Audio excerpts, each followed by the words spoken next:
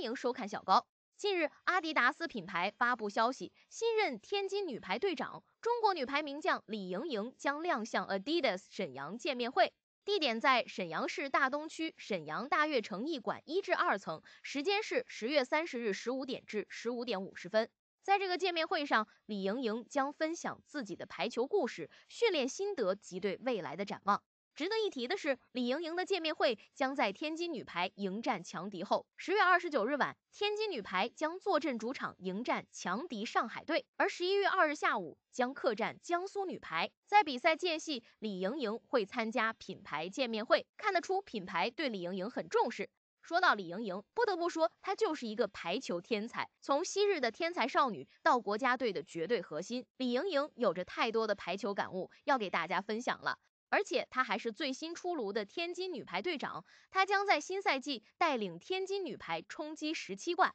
其实李盈莹的实力早就可以做天津的队长了，之所以一直没让李盈莹做队长，是天津队对她的一种呵护，希望她能够在技术上专心提高自己，同时也在积累各方面的经验。笔者认为，现在正值运动壮年的李盈莹，有能力也有资历做天津女排的队长，在场上和场下团结队员，鼓舞士气。一直以来对李盈莹呵护有加的师姐姚迪也是乐见其成的。作为前队长，姚迪在排超的成就无人能及，现在也是他卸下重担，轻装上阵，享受排球运动的快乐，并做好传帮带工作的时候了。其实不只是天津女排队长，李盈莹甚至有资格做中国中国女排队长。李盈莹的实力毋庸置疑，作为中国女排主攻箭头人物，打了相当多的调整工，而且还是前后排强攻。李在这个女排的作用，如同埃格努波斯在各自队伍的作用一样，是进攻最强火力点。但欧美强力接引是不接一传，